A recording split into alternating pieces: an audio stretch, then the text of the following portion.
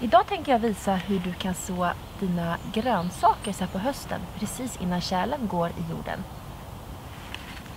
Det finns många fröer som tål kyla och jag tänker idag bland annat så en spenat, en eh, röd lök och då är det viktigt att det är frö, alltså inte sättlök. En svartrot. Krondill, jag har samlat lite egna fröer av en sort jag gillar. En gräslök som man har hittat på Finnhamn i Stockholms skärgård. En eh, ringblomma. En plocksallad som jag gillar väldigt mycket. Just den här sorten heter Salad Bowl. En huvudsallad. Också lite morötter i blandade färger. Rensa bort allt ogräs innan du sår. För du kommer ju inte kunna göra det i vår sen. För då har du ju redan fröerna i jorden. Vad som är bra med höstsådd är att du är mycket snabbare på våren. Du får alltså en tidigare skörd.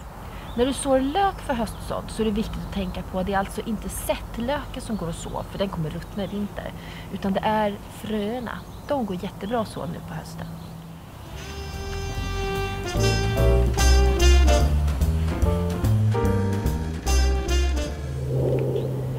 Kommer till höstsådd så gäller det ju precis som vanligt att försöka efterlikna den naturliga miljön för den här, just de här fröerna så mycket som det bara går.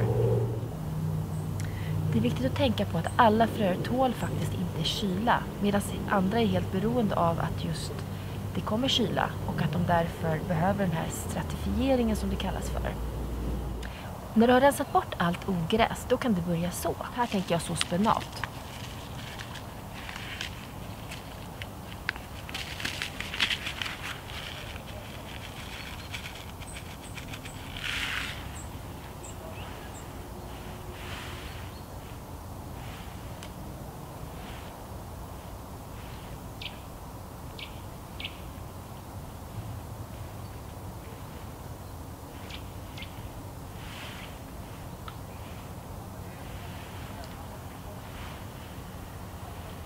Och på det här sättet så vinner du ett antal veckor i vår.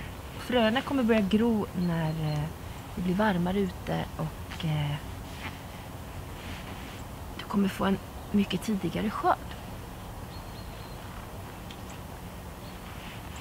Men alla fröer tål inte kyla så därför så kommer jag lägga upp en lista här i slutet på klippet.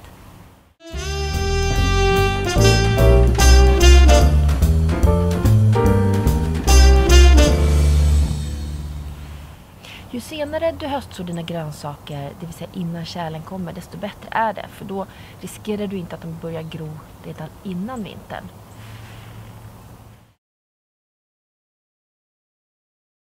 Tiden för när det blir tjäla i jorden är ju såklart olika för olika platser i Sverige och också olika år.